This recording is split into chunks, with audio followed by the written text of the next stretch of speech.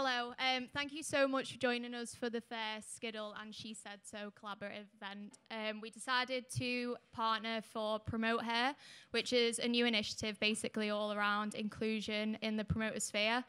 We initially did a survey around female and female identifying promoters. Um, we soon realised that those questions weren't as inclusive inclusive as they should be. So we're going to revisit that survey, put another one out. Um, but for the time being, we're going to look at the results of the initial survey.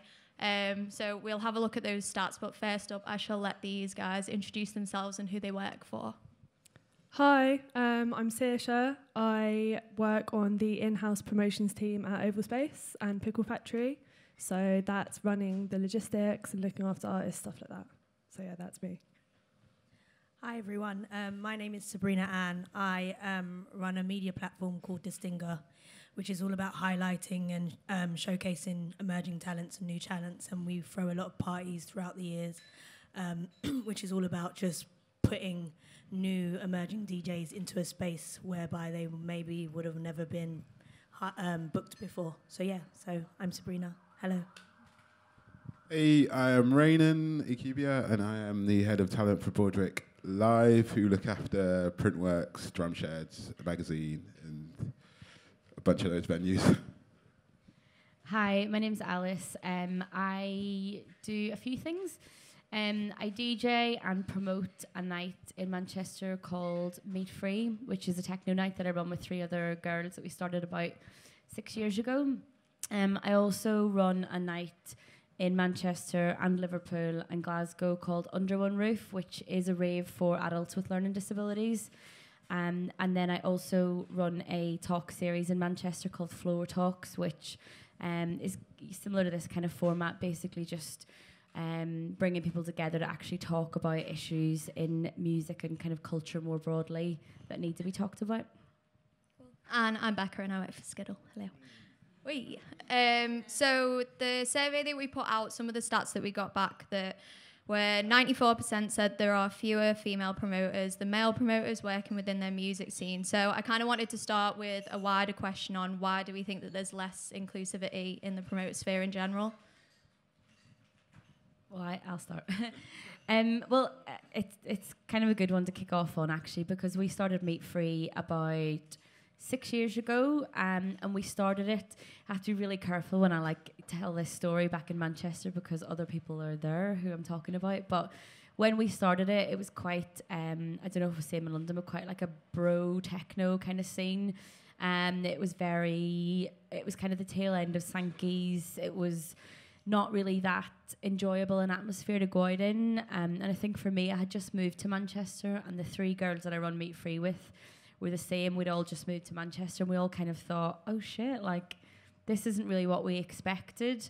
Um, it always felt a little bit aggy and you know quite negative. and then we had the other side of things where we're kind of all on the techno side of things, and it was quite um, snobby, really, more than anything. You know, a bit like, oh, if you hadn't heard like Aphex Twin, like xylophone solo from when he was four, like you just weren't like people weren't interested. So we were like, this kind of has to change. Um, so we thought we initially joined a group of honestly about 14 other people to promote this one night, which is absolutely ridiculous. And it was an absolute disaster, as you can imagine.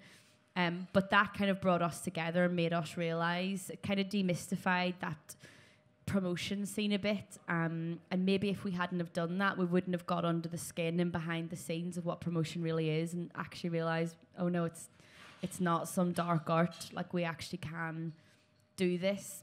So we sacked off all the boys, no offense, um, and and started meat Free. Um, and we called it meat Free because we were all girls and we had no meat, and it was just a bit of a, a joke that went too far. Um, but it's kind of stuck. Um, and we started out with the intention of um, creating nights that felt really fun, um, and they weren't too serious and they weren't too snobby and um, we did like before it was cliche. We did like glitter and inflatables and things, and we kind of did that just to sort of disarm people a bit because what we'd found was those dance floors were very serious, and as I said, like a bit aggy, and there was quite a bit of a tension in there. So we thought, well, if we make everyone look and feel like a dickhead, then everyone will feel the same way, and we can like start to have some fun. So it was like kind of putting, you know, 140, 150 BPM techno artists alongside an inflatable Zimmer frame. And it worked. Um, and that was a really good way for us to kind of break in to um, to break into the industry a little bit um, and kind of break down those barriers. But I think it was when we first started, it was very apparent there weren't any other female promoters, and we didn't start out to be like a female promoter. But I think what organically happened was very different than what would have happened with a male promoter. And I was talking about this and something else recently, and we started out by doing pay what you want parties. And we were like, yeah, it's a really cool idea because people just come in, like, you know, you pay if you like it, stay, blah, blah, blah. And in hindsight, I realized, like, was that a bit apologetic? Like, we were like, oh, no, people won't pay. So I, I don't know if that was like a, a conscious or an unconscious thing, but at that time, we were certainly one of the only kind of female promoters in Manchester.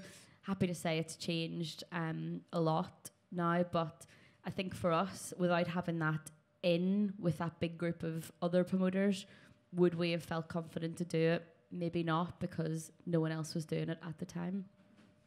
I think um, the reason why I think there's less women that are promoters is just the culture of the club scene. Um, it was very much obviously girls would get done up to the nines to go out, and the boys would be the ones that are kind of facilitating the parties. And that's just something that's continued on. And I think only now um, it's changing, and with women coming to the forefront and taking the risk and wanting to be able to put on the parties themselves, it's now changing. But I think the reason why it's taken so long is because there's not enough women doing it. And I feel like women, maybe in this day and age, don't realize they can do that. And, you know, if you talk about the West End clubs and the scene there, it's all about the boy promoter going to get the pretty girls and put them on a table so that the guys that are spending the money, and that's the kind of culture of just life, but it's changing. So I think as things are changing, the fact that women will come involved will also change, but it's just going to take a time. I think it's important that we have promoters such as ourselves to be able to take those risks, to be able to open out those doors. So yeah. Yeah, I totally agree with you it is it's a cultural thing and I think the idea of representation is so underestimated because mentorship is such a cr- like crucial valuable thing and to have an older brother or a friend who has experience already to show you like how do you hit up agents? How do you approach venues? How do you all these fundamentals of putting on a party? If you don't have anyone to show you that you're not going to have a clue and I think um, I do think it's underestimated how scarce that is from woman to woman. And you know, I do think it, it's kind of a given when you have um, when you have guys. That's my opinion on that. And you talk about you know the West End and how a lot of people view that as a sexist culture, but I don't know how much better it is in the underground sometimes, to be honest. Pretty much what these guys said. You're in the Fahrenheit. yeah, pretty pretty much what these guys said. I was, yeah, pretty much what they said. Sorted. Um, so if we look at the top, like big scale promoters, like nationwide guys, you know, maybe even festival promoters, it is very much predominantly male. So say if we're looking at the grassroots and the independents, how do we get them up to that level? I know a little bit about this one. Um, so again, it's a continuation of what these guys have said. so basically, like it, it's a culture thing, and the, and the culture has started to change. Probably, it, it, would be unfair to say like six years ago because obviously you got like Kemistry and storm who obviously started Metalheadz so there has been a long running theme but i think now as a nation the culture is, kind is changing isn't it it's becoming more open i think with that change we're starting to see more female agents come through to this point it has been a very male white male middle class dominated you know area when it comes to sort of national promoters and agents to a degree, but at the moment there's a lot of people coming through. There's like Cheyenne at Metropolis. There's also uh, Nicole at Coda. There's also obviously Lucy at Coda. There's, there's just there's a lot of, of females coming through at the moment. I would say. And Sasha, you mentioned before about having that sort of mentor um, figure in your life and how that can help you. And one of the main bits of feedback that we had from the survey is that um, they feel that if there was more role models, so to speak, that it might encourage a more diverse set of people to get involved. So, how do we think that we can encourage that within the scene, having those sort of role models about? Um, I mean, something that we've done a lot of in Manchester and still happens um, was kind of open DJ lessons that were specifically um, for female, female identified, non binary. Um, and they always had a really big uptake. You know, people were always really keen to come, but um, and that was really good. And it's sometimes the more valuable part of it was just like having a chat on the side while someone was waiting to do it. And I always laugh like I'm such like not a technical DJ, and people are like, "How do you do this?" And I'm like. Mm, I don't know. Like, let's just figure it out. And one of the girls I meet, Free Lucy, she's like super technical and she does like a really good she does a really good slideshow, but we're all sitting in the back like, God, yeah, she's right. Like, so we're all learning from each other as well. But at those things, it's almost not about just, it's not about being like the best technical person and passing on that. It's being able to like instill like a little bit of confidence in someone. Or when I, I grew up in Belfast and before I moved to Manchester, I always worked in clubs and everything, but like I never would have even dreamt of DJing because the people that were around me, I would have thought they were boys at that time would have been like, like absolutely no way am I teaching you. And it was only when I came to Manchester, I met the girls from Meat Free who already DJ'd, that they were like, oh yeah, well, I'll show you. And sometimes all it takes is someone to be like, that's what this button does, and that's what this button does, and you're like, oh, that's not so scary now. It's just like that one little barrier that's broken down. But I think with, I think like a lot of the talk and like rhetoric around this type of thing. It's always about DJing and producing. Like it's like a technical skill that you're passing on. And I think when it comes to something like promoting or being an agent or working in a venue, it's not as easy because there's not really. It's easy. Yeah, it's easy to say here's a DJ workshop. It's not so easy to say here's an artist liaison workshop. So I think it's good on one side, but on the other side, back behind the scenes, it's not really so easy. I think we need to scream and shout about people that are doing amazing things more. And that's one of the reasons why I built Distinga. It was a platform to showcase that there's other avenues within entertainment, within music, fashion, law, accountancy, whatever, that there's amazing people behind these scenes doing great things. And one of the things we do is we highlight people, we might highlight a promoter or a lawyer or whatever and showcase their story. I think things like this as well, panel talks where people are able to understand what goes on behind the scenes and hear how they can get into it, what it takes, what the job looks like, is an, also an opportunity for people to look at someone and be like, I I dig what she's saying, or I like what he's saying. I want to be like them, and it's all about us just being able to scream and shout about each other. So easy in this day and age. You scream about a footballer, you scream about a DJ, an artist. Like let's scream about the people that are actually helping those careers move forward, because there's so many people behind the scenes all the time. Yeah, 100%. Like, I think that visibility is such a crucial thing. And to be able to see someone, and I think if you're a white middle class guy, and I work with loads of white middle class guys, and they're really good at their job, and they're they're brilliant. Hey, white middle class guys, you're all great. Shout but Andrew Hill. but I think there's something really valuable to be able to look at your team and see someone that looks like you and you can relate to and say, that's what I'm aiming for. And maybe that, I don't know if that sounds, if you can't relate to that, maybe that sounds like silly, I don't know, but, or like, or you should just be able to say it doesn't matter, but it, it does matter. So I totally agree with you that having platforms where you can just see people around you doing something that you can aim for is so important. Yeah, 100%. I, I, I would agree. I think platform is, is massive, and I think because if you don't, so if you can't see someone like you doing it, like you think you won't be able to do it, and then when you get in sort of those situations, when you do get to like a SJM or a Metropolis or whatever, it you know it, it, it can be quite an intimidating thing. If you're not if you're not comfortable and you know you're surrounded by these old sort of intimidating white dudes like you know it can be quite an intimidating thing. So i think like having a platform where you know you can see people doing what you want to do and then getting that knowledge and then feel comfortable in what you're doing is very important. Um, if we rewind a little bit to campaigns maybe a couple of years ago, there was Smirnoff's Equaliser Music, and also there was a pledge to make festival lineups a 50 50 split between female and male. Why do we think that it took so long for maybe those to, to launch in the grand scheme of things? Um, I think it's because not enough people see it as an issue yet. I think a lot of people think to themselves, well, I'm not sexist, or I have loads of girl mates, or I respect women. So if a girl wants to apply for a job or step forward for that opportunity, then she can go for it. But they don't realize that like the issues that we've already touched upon so early on in this talk, like issues of visibility and issues of mentorship, they don't realize that those are problems. And they're just like, I wouldn't block someone if they wanted to, but they're not yet realizing how important it is to reach out to encourage someone.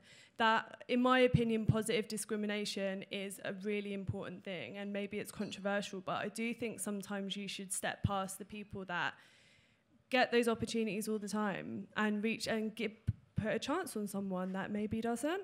Yeah, it's almost like the you can say, well, as you say, I wouldn't block someone, but you're also like not enabling someone. And I think you have to realize that you, if you are in any position of privilege, that you really need to recognize that and say that not everyone is. And if you're in that position, then you should be giving people a step up. But not everyone obviously sees it that way. But I think to just come back to your original question, I think it was just it's like the worldwide culture shift. Like it took that long for Times Up and Me Too and all that kind of stuff to come up. So it wasn't. It was like on one hand, people weren't recognizing the need for it. On the other hand, the people that were in need didn't like yet have that voice. Like that voice wasn't like that collective voice wasn't like strong and together enough to make enough noise really. And I do think it's good, but again, I don't think it goes far enough in terms of like the front of the scenes, behind the scenes. And then I know, you know, we've already talked about the fact that this is the first of many um, surveys that you'll do, but the even those festivals that I've been to and it's like 50% male, 50% email, email, and you're like, okay, great. And we were at one the other day. I was at a festival last weekend and I looked around and I was like, it's really nice this festival. It's like super inclusive. And I was like, it's still really fucking white. like, it is super white here and hot. Like, so what do you do? Do you say, 25% black male, 25% white female. Like, how do you then do that? We need, I agree that there is a need, especially in like when it comes to actual employment and things, but when it comes to creating like truly kind of intersectional culture and like platforms, people to just, because we're not just talking about people getting jobs, it's actually people feeling comfortable enough to go to a rave, essentially. So it's like, how do we build spaces that, people feel comfortable with without actually having like a checkbox like sorry too many white girls in here gotta go. Although i would like to do that sometime but do you know what i mean? Like how you know i don't have the answer but i think um, i have a bit of a, a pickle with this because sometimes things come across as tokenism and it seems like a lot of things are being done like oh we're going to highlight women this month and then it happens this month, and then it just goes back to the same thing. Um, and it's a kind of um, double-edged sword because on one hand it's a great thing because it's being recognized and it's happening. However, I feel like it starts from the intent of why you're trying to push an initiative, and a lot of the times it is marketing oh, let's do this to market women and do this and um, attract this audience. And I think, like I said, it starts with intention. And if your intention is right from the beginning and your intention is to make an inclusive club night or event or promotion, then you will naturally do that because you will look at your lineup and just be like, it doesn't feel right. The same way if you were having like a mixed genre night.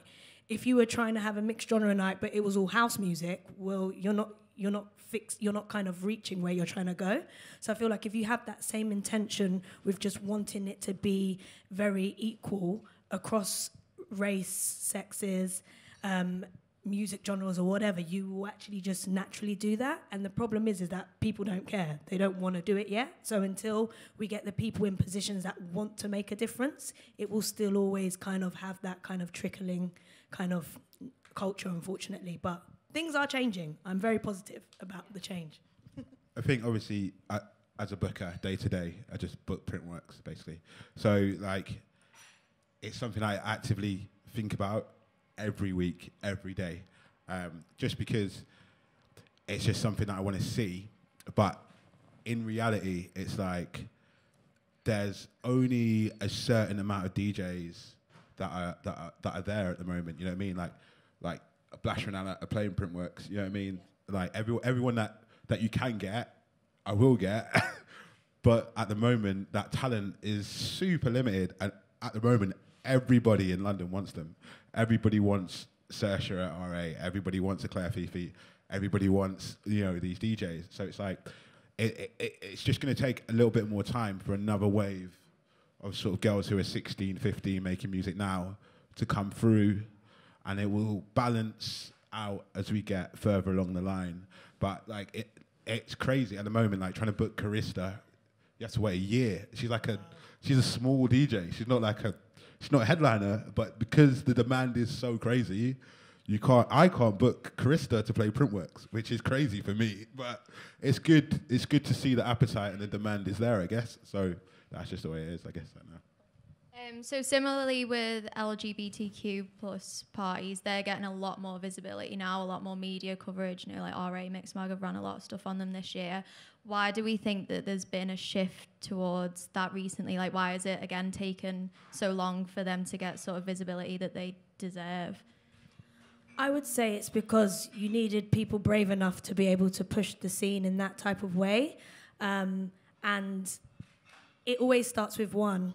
And then they're usually very secretive type of parties that only kind of are um, promoted to that scene for a specific reason for safety because if you kind of made it worldwide or l- let everybody know, you might get the wrong type of people in those spaces. But I think again, with the change of culture, um, everyone's becoming a little bit more open to different sexualities and things like that, which is now making it more of a desire to want to go and be in those spaces with that community. Um, and there's a bit of a pull and throw now because it's like people want to be involved in it, but the communities don't always want other people to be involved, which is like a hard kind of um, balance to make, which is understandable. But at the same time, if we you can't want equality but then not give it at the same time. But I think it's just literally down to the fact that there was people brave enough to push and really be bold with what they were doing with the likes of Pussy Palaces and things like that. Like they're bold. You go to a Pussy Palace party, you're having a good time. like straight, not like by whatever you are, you will have a great time because their parties are just insane. And that's what and that's what it takes. If you kind of create something that people now want to be a part of, it will grow and become something that oh hold on, now the whole world wants to go Pussy Palace. Yeah. So yeah. Yeah, it's um, even though we picked a name like Meat Free, which seems a bit stupid, but compared to the point I'm about to say, but I read something recently and it was like Meat Free, a, cle- a queer leaning party, and I was like, oh, are are we? like, and it's um, the other three girls in Meat Free are all lesbian, but when we first started it, not everyone was out to the people that they worked with, or not everyone, you know. So we, whereas for me, it was like, yeah, let's call it whatever because like kind of like I'm straight, no skin off my nose. When it's someone else, it's having a completely different experience of that. You know, they were very careful to be like, oh, like, like we don't want to call it a queer party because that's their own personal experiences coming through. So, which you have to respect as well. But as you say, it's like what you build unintentionally will will come out, and that's what we did. You know, we didn't ever intentionally say like this is a queer party, we're booking these people, or we're doing these types of things, but the attitudes that we had amongst us as promoters and people obviously came to the forefront and it became a space that people felt very welcome um, and very you know we were open to anyone kind of coming. So yeah i agree it's like what it's what you build. It's, it's kind of like what you what you put on the way i see it is like what you put on the decks what you put on your door is like what you put on your dance floor essentially. So we're always quite specific about like we never ever have um like even like six years on, we still do the door. Like we still argue about like who's doing the rota of like shifts on the door. But it's so important because that's the first thing that people see. So they need to feel welcome. But I think in terms of the LGBT um, plus thing, it, especially in Manchester, it's like that's kind of what we're famous for, which is great. But there is a problem as well. Like when we just went Pride weekend just past, we were like, all right, time to make some money. Because you know, like all the corporates, all the big bars, all the clubs are going to kind of appropriate that culture. And in a way, it's like, well, yeah, let's rinse them for it. But B, like, let's also not um, kind of fuel it. So there was one brand that will remain unnameless that um, kind of was putting together this panel and they'd asked us to DJ and be part of it and they kind of were just throwing really flippant comments around about like, oh, let's get this person on a panel. Well, not this person, this type of person. And we kind of said, I was like, look, we have to pull them up on this. Like, we can't, like, we have to have our principles here. Like, I know it's a lot of money, but, and we kind of pushed back and said, look, what you've said is really out of turn, blah, blah, blah. And to be fair, the person, like, think, you know, they're just a bit rushed off their feet. They're not really thinking. And they did take the time to come back and say, like I've read what you've said. I'm like I'm really sorry. I totally see where you're coming from. I was completely wrong. And then you know we worked with them to create something that actually was purposeful rather than just a like rainbow washing event. So I think that is the problem too that the culture has changed. That it's come more to the forefront, but it's become quite cool as well, and it, it is really open season for people kind of taking it over then and as you say not kind of being able to guard those kind of safe and sacred spaces that people spent so long trying to build.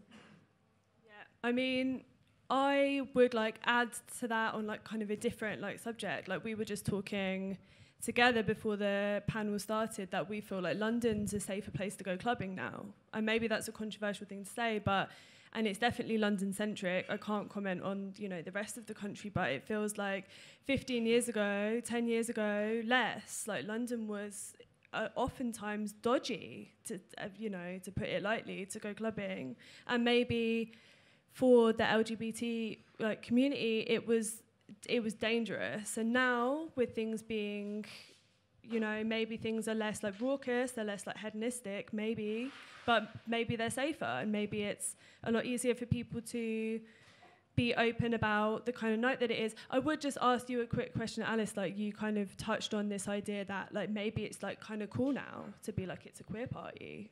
Would you feel that y- way? Yeah, uh, and I do think I think it's just becoming a bit of an issue, not for people who when it's at like the actual heart of what they're doing, but these other brands or like if you like a couple of weekends ago it was Manchester Pride and like every you would have made money like actually saying I've got an underground straight party going because everything else, everything else was so pride. And there was a um, there was a bar that were really pushing it and thought like people go, they're not going to go like they don't go every other weekend, so they're not going to suddenly see that you've got this pride party and start going. So people love just like jumping on the bandwagon, but one of the reasons that I say that is because I think about a couple of other things. So we talk about gender, we talk about race, talk about sexuality, but for me, like the two things that are never ever talked about are disability and age.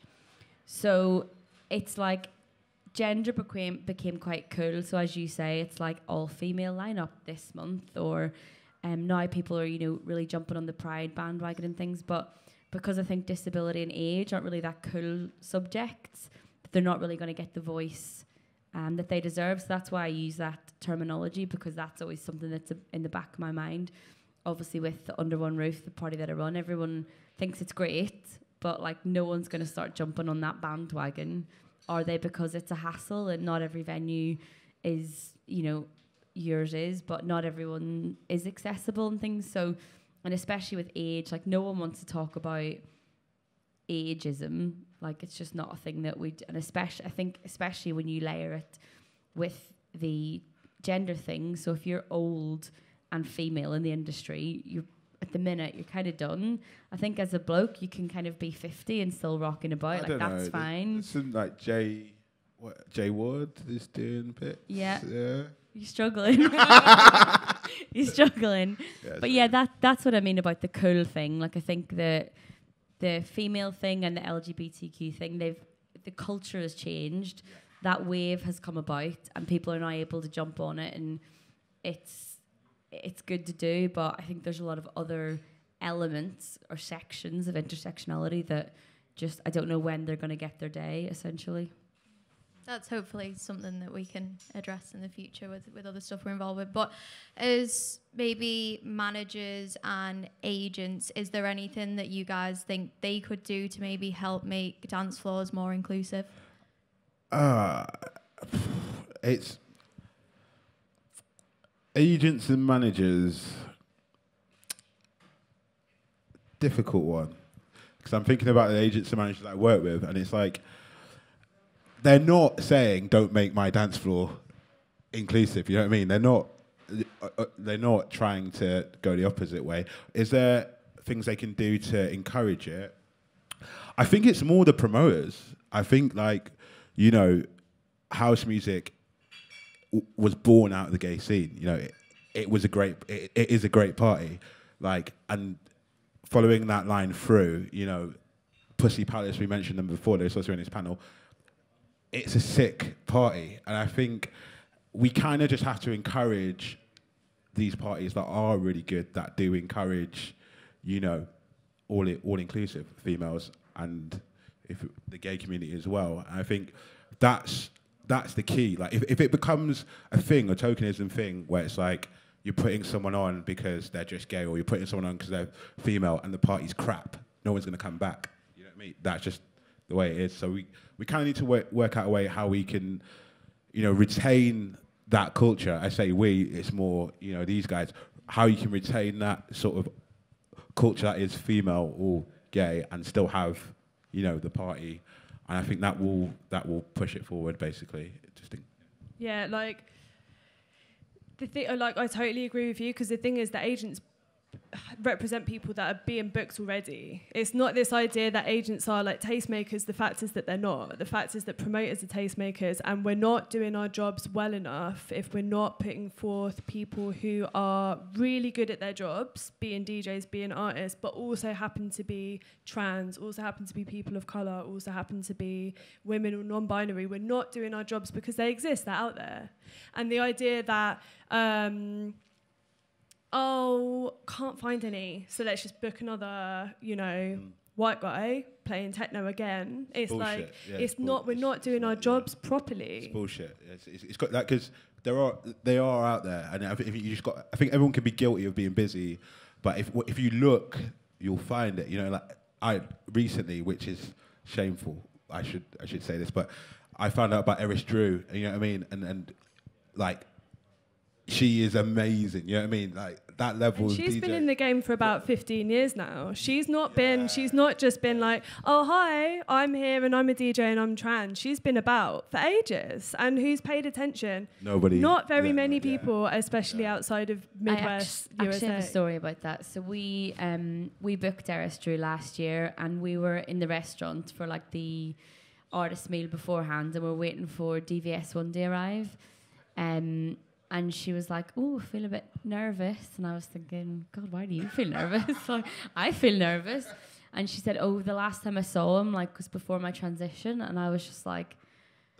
I was just actually floored by how brave you have to be to like put yourself in those situations and if anyone's met her or seen her play or seen anything like she is the most like she's in another level of how like connected to music that she is. Like she's frightening. Like she's another being. It's completely mental but she's yeah she's an incredible dj she's a wonderful person all those things but that was something and again it made me kind of check myself and be like wow. Like i never even because i just like wow you're like a famous dj oh you're trans that's cool. But you don't think about like all the things that have to go into like giving someone the confidence not only to be like a kid in the street to transition but like someone that's in the public eye and actually had you know a career before the transition and wants a career after. And she's done so well and that is because of her talent and her attitude. Like there's no doubt about that. But that interaction like totally floored me. The confidence and not even the confidence the bravery that she had to actually do that and of course when DVS1 arrived he was just like hey Eris, like what's happening like you know there was no there was there was no like bump in the road um and i hope she felt comfortable but it it, it made me really realize like you just do not understand someone else's experience in this world, let alone this industry. Can I say one more thing as well? It's, it's like there's there's a, like a theme as well. If you look at like who's like actually doing the business at the moment, like Honey Dijon, Octo Octa, Eris Drew, it seems like that there, there is a theme of, of the of people just, just smashing it at the moment. So and that's just because they are being supported. You know, people are coming out to the shows, and I think we we've just got to continue that culture. If you see someone from these communities that you think is sick, buy a record, go to the party, basically. Yeah, and just to add like one more thing on top of that is this idea that like somebody isn't somebody's just being tokenized. I know it's such a sensitive topic that you don't want to just be like, I'm just going to go see RSG because it's the right thing to do. I mean, I don't think anyone says that, but just even the thought of that happening is like perpetuating this idea that people from certain demographics like inherently can't be good enough. Like women can be good enough. They are good enough and so are people of color and so are non-binary people and queer people. Like they are good enough and it shouldn't be questioned and you give the right people the platform they will flourish and that's that and that's what our job is in my opinion. Um, so moving forward, um, what do we think we can put in place to help support promoter inclusivity? I know some of the feedback from the survey was people might benefit from social media groups or platforms where they can engage. No, shesaid.so is, is an amazing one to begin with. But what else do you think we can put in place to sort of improve the, you know, the issue that we've got? Um, there's just one thing when we were talking about managers and agents. Again, as you say, it's not. It's kind of not really up to them. But I think sometimes when it comes to even venues or um, mostly just venues, I think if if if they at the end of the day everything comes down to money. Like everyone's doing it for the love, but you can't do it for the love if there's no money. Like everyone's putting on nights, everyone's DJing, everyone's selling records to make money, and has to be commercially viable at the end of the day. But I think if there was something um, I mean, isn't it RA who are doing like the promoter um like loans or something? You can't say that name here, Alice. Uh, uh, or, but I mean, things like that. Basically, at the end of the day, it's about money, and if there's support from people like Smirnoff who are doing the equalizing music thing, I think it needs to be a bit more practical sometimes. So if it's like, look, I want to put on this night, but it is going to be a risk because it's not a white guy that's playing techno that's been playing techno here for like the past six months. It's these different people that you probably haven't heard of because they don't actually have the money to promote themselves or they don't have the voice to promote themselves or they've not had the platform to get here or you know because of all these grassroots things. But i've actually found out about them and i think as you say i think they're sick. So can you maybe like waive the venue fee for tonight because you might take a loss? But like you'll be the hero of the day when they become big so it's trying to trying to like equalize you know we're talking about equalizing music but we do kind of need to equalize money a little bit to make sure these things happen. I totally agree with what Alice is saying. And I got an opportunity to be able to get into promotions because the venue I was working with at the time, I was working with um, um, the Mama Group. And they, I went to them and I said, look, I really want to put this event on. And they were like, yeah, you can. There's no charge on the venue. Um, you just need to try and aim to hit this bar spend. It doesn't matter if you don't, but that's what will keep you being able to continue putting on your events. And I was like, oh my god seriously so i can actually just throw the event for free and not have to pay anything. And that goes a long way and i think it takes venues as you said to recognize people that they can see can potentially do something and take the risk and that's what happened with me and i was able to you know grow from there. And it and it just takes again when the intention is right. If a, if you've got a good venue promoter that really wants to open out the opportunities to a different wider audience. Um, speaking to her she, she said as well like oh like i just want to put on more events that aren't house because it's always house. So she's recognized the fact that there's a there's a niche there that she wants to try and move into. So i think if more venue promoters go in that lane, it will make so much more difference. And you know, when someone new comes along, don't say to them, "Oh, well, it's a thousand pounds," because they're not going to have a thousand pounds. So take the chance because it's probably likely. Give them a Thursday night. You're not going to have anyone coming in on Thursday anyway. So give them the opportunity to do something and prove themselves. the problem is that the people that have a thousand pounds are the white middle class guys. I, I, I think you got to you got to remember as well. Like, and I'm looking at is Miguel here? Is he here somewhere? He's gone outside. He's the booker here, but he was the booker at the Nest, and you know that was a club, and they lost a lot of money. You know what I mean? It's not. I understand what, what everyone's saying, but I've been a promoter for like just that's the only thing I've done, and like if you as a venue, if you lose money, you you know you could lose your job essentially. But at the same breath, if you're talking about giving out a Thursday, that is hundred percent doable, and I know that's hundred percent doable because you pay for your venue with the Friday and Saturday basically. So there there, there is. I think I guess it's it, it's about balance. Yeah. What are you saying, Saoirse? I don't know. It's such a difficult one because it is a deal that we do with promoters that we trust and believe in. But you have you, to find you the got right an expensive people. venue hire as well. I know that for a fact. I mean, it's something that you can do with smaller clubs for sure. And it was something, again, we were talking about before um, we started the panel this idea that there's so many big, massive capacity clubs opening, and those kind of clubs can't go out on a whim for people. Like, it's just not possible at all. Like, a first like an up and coming promoter is not going to fill a venue that's a thousand capacity it's not going to happen no matter how many mates they bring down no matter how connected they are it's not going to happen Because your mates never show up in the end. Mates never show up. but if you've got a 200 capacity venue, or you know, if you're lucky and it's less, it is something that you can achieve. Um, but you do have to find the right promoter, of course. Ev- everybody loves to think. I'll throw an amazing party. It will be the best party that this club has ever seen. But if someone doesn't have a track record, how are you supposed to know that? So, of course, it's always the gamble. But clubs are like, it sounds cliche, but clubs are nothing without really decent promoters. And that relationship obviously has to be established. I mean, you know this. This relationship has to be established. It's just that's the skill, isn't it? That's what makes or breaks a venue staying open or not. I, I think one thing I, I'd how how can we build for a better future? Essentially, it's like anything. It's like when dubstep came.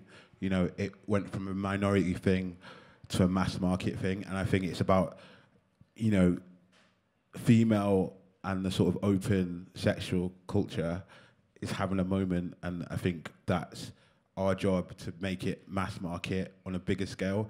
So that again, I, I said it before, but you just have to support the parties. You have to support the labels. You have to support the artist, and they'll get big enough. Like you'll start in a small venue. Like I, I've seen it so many times. Like you put Mall Grab in a 200 cap venue. People like him. He goes to a 500 cap venue. You go to a thousand cap venue. Then you're at a 3,000 cap venue, and that will happen with this. It will happen with female DJs. It will happen with gay DJs and musicians too. We just have to support them. Cool. I think that's a really good place to finish. But if you guys have got any questions, feel free to send them that way. Anyone? We spoke quite a lot about house techno and those sorts of clubs, and I know it's be most of your speciality. But what about supporting people in like the live sector? I've quite a lot of live shows with brands and stuff, and sometimes it's really difficult to find like I don't know an openly gay DJ that wants to play trap or rap music and or like the warm up that sort of thing. It's quite difficult find those people and not be there, there's a select few, you want to people those select few, you want to find those new people, and that's quite difficult. So people like ideas and how to support more the live aspect rather than house and techno. Because I think in house and techno, it's almost like a given because it's, there's quite a lot of history there. But in like rap, grime, all this stuff, it's like quite, I don't know, I think I'm a focus places. So, any ideas? You'll be surprised in those cultures of music as well. There is still a lot of people interested, and there's a lot of people within those spaces who are um, their sexual their sexuality is different, or their their they're genderless or all those kind of things. So they are there, and it's just about finding them. And I think if you personally don't know who they are, find someone that you know who does because they are definitely there. I know loads of people, for example, that are in that space. So you can come and speak to me. I can give you loads of people. so yeah, so they are there, and it's just about, and that's something people need to realize. If you don't know something, but you want to do something, find somebody that knows, because there is somebody that definitely knows. Everyone's culture is different, so if you are not um, uh, an expert in this field, there is somebody that is. And for example, in the rap, the grime, or whatever, go to a person of color; they will hundred percent know. It's as simple as that. And that's what a, pe- a lot of people forget to do. Um, they will go to the next friend or the next person that they know that are working on the same levels and not thinking, do you know what? That friend that I had at school, she's into this stuff. She's not quite here, but she will definitely know. So go to the people within the, those cultures that you want to help or put on, and they will 100% have the answers for you. Like, 100% agree. That's like how to book any genre. Literally, you just you, like if you I I I'm not a huge techno fan. I like it, but I don't know a lot of it. I ask people that like it. You know what I mean? It, it's just what you got to do.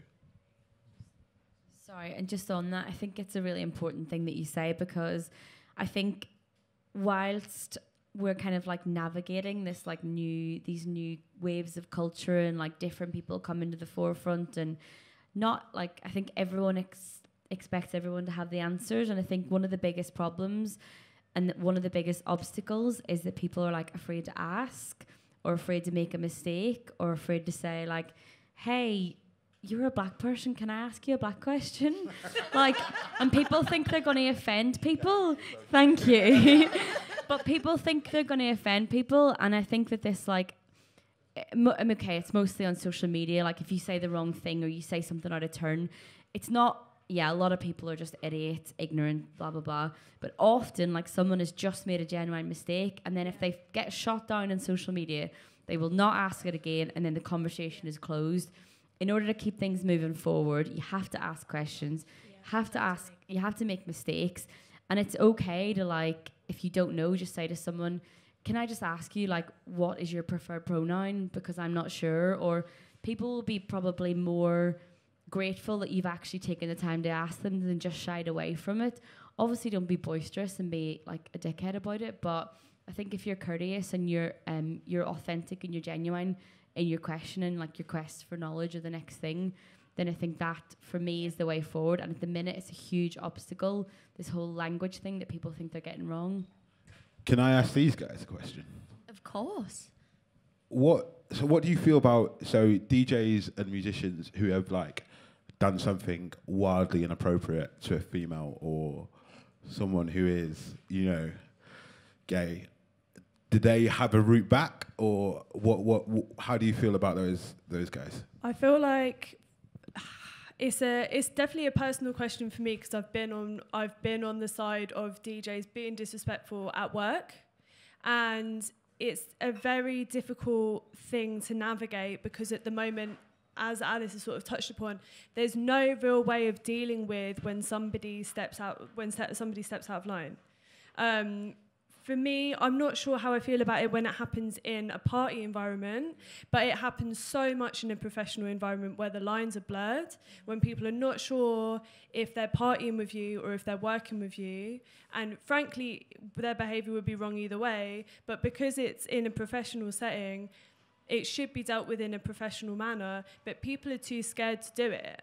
So people sweep it under the rug. People aren't willing to deal with it as if you made some other professional blunder. To answer your question, is there a route back?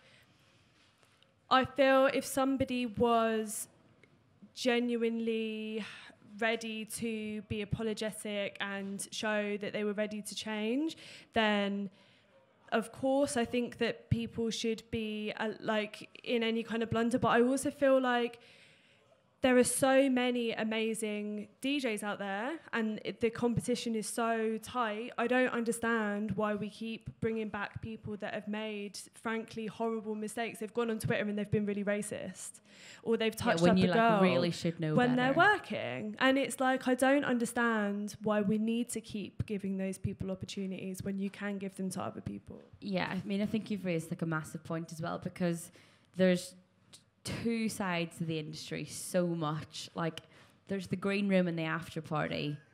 and then there's the mix Mixmag article or the Skiddle panel, and it's so so different. Like we all know that, and you're so right. You just it's so hard to know what that boundary is, and I think for me, someone like who who runs parties and promotes, and it's not my full time job. I feel like I'm in a position where I can say no, like stick to your principles and say to someone, that is wrong, that is out of line. You know, you can do it, but not everyone can do it. And it's the same as being in like, you know, a boardroom when someone says something wrong. It's it's always those behind closed door things, but there have been quite a few high profile, obviously, cases um, of people, you know, doing or saying the wrong thing. I think if someone literally creates an artwork for their EP that objectifies women, like there's not really much coming back from that because that is so purposeful, it's so intentful, it's so misjudged, and it's so it's just wrong, and they can't do it. If it's a case where someone who has a substance abuse problem, which most people, well, not most, a lot of people in the industry do, and they've been at an after party and done some really bad things and really hurt a lot of people, it's like you say, well,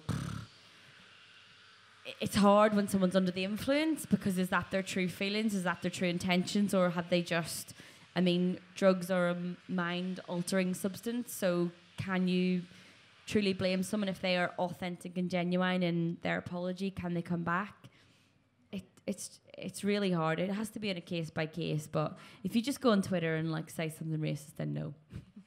Yeah, I like agree that it has to be it has to be dealt with sensitively. I don't think anything can just be like let's just deal with all of these things the same because there's different it varies in, in sort of seriousness and like what happened and what the true nature of intent was. I kind of think if we all party as part of our jobs, I assume.